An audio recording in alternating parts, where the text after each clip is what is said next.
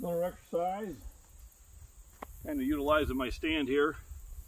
Uh, A 60. So You can work the back, the lats.